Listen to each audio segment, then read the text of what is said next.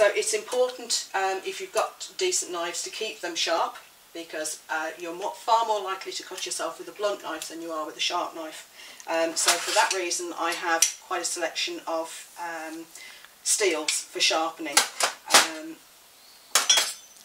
and learning to actually sharpen took me quite a long time.